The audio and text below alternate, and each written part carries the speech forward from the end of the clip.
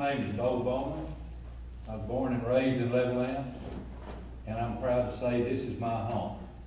My wife and I, Verna, have uh, bought a spot out here in the cemetery, and I'm very proud to serve on the cemetery board.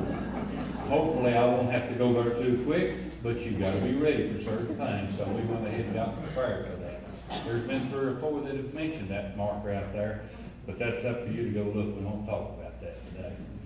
Uh, I would like to become the mayor of Levelland. I have the time and experience, I feel like, to do a good job for you, and I would like to have the ability to work with the city council and the city, uh, employees. They do a good job, and I think that they need the, the respect and the compassion that council can give to them to make sure that they do a good job for the citizens of Levelland. First question, Mr. Bowman, is uh, what personal experience or community involvement would qualify you to be the best candidate for the officer of mayor for the city of Levelland?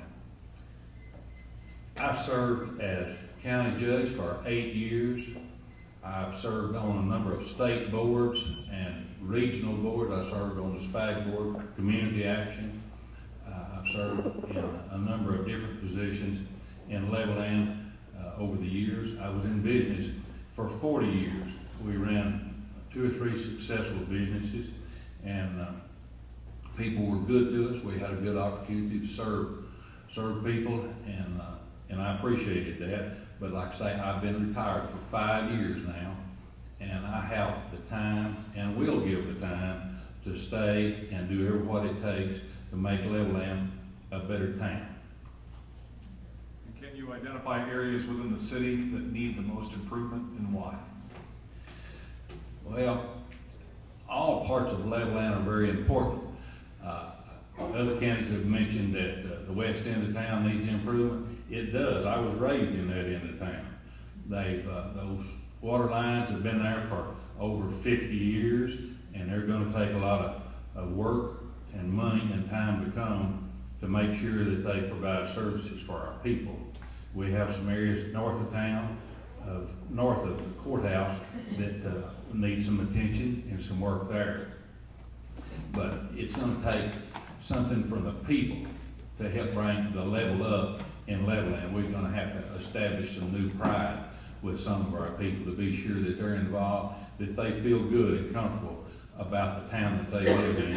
And when somebody comes in, they want them to take any portion of town and be proud. We had a, a group come into town not too long ago, and, uh, the man was escorted at different parts, and he was impressed. But what he was really impressed with was the community involvement when he got ready to leave. I heard him when I was down at that meeting say, I've been to a lot of towns and they rolled the red carpet out for me and they showed me all the best parts and they told me all about it. But he said, what really convinced me that Levelland was the right place to have a World Series was when a group of people came out at four o'clock in the morning and told him they wanted him to come back. That convinced him. And that's the thing I feel like that the whole town needs to step up and bring up, and I can bring some leadership to that because I have the time and experience. I worked with a lot of people, uh, over the last number of years. We don't talk about my age, but I'm seventy. And what do you believe are the uh, highest priority needs for Levelland in the next three years?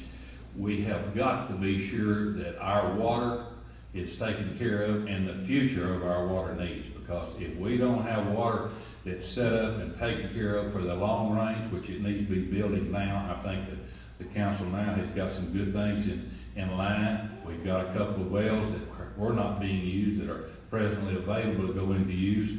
But we've got to be sure that our water needs are, are filled because we don't want to wind up with a position like some of the other smaller towns back down around the uh, other side of Lubbock. And Lubbock has a major problem, as we've all heard. But we've got to make sure that our water needs are filled out, not for the only next three years, but many years to come. And how do you feel about the proposed multi-purpose event center? That will be one of the things that could make Levelland really step up. We have a lot of ex- exciting things happening in Levelland now. but that could be the one that could really put us up on the top. Because that multi-purpose center will provide some things that have not been available. South Plains College was put in fifty years ago as an educational center, and they've done a tremendous job.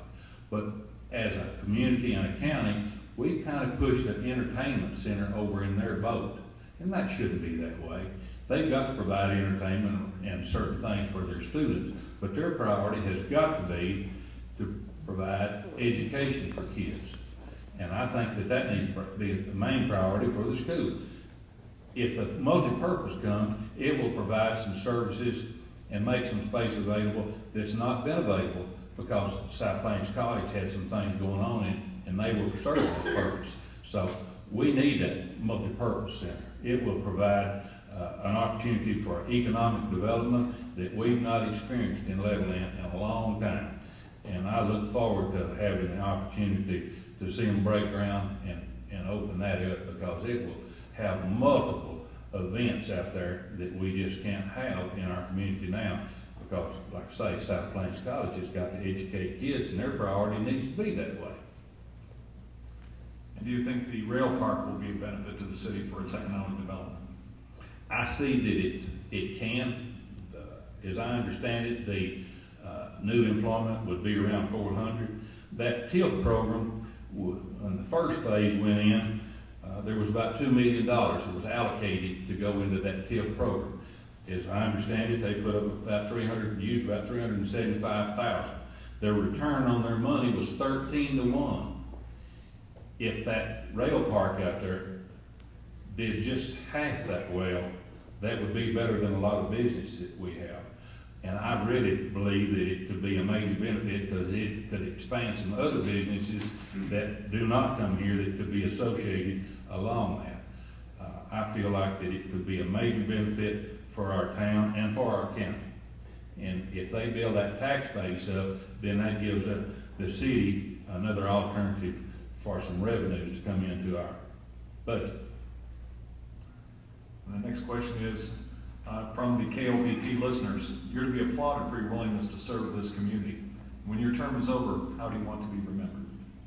I would like to be a mayor that's thought of as making a contribution, spending the time, and giving a hundred percent to be sure that the citizens of Levelland could speak to the mayor. If I'm elected, I plan to set up one day a month to set up a time for the mayor, because I'm sure there's a number of people in this audience that have been to meetings and wanted to ask a question, but there's a little bit embarrassed to. But on a one-on-one, if uh, you have time and you could sit down with the mayor, I think that that would be a major benefit, and I'd like to hold that role of being the person that, that made that contribution to that land.